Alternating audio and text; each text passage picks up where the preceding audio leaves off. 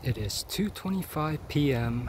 on December 29th in Hialeah.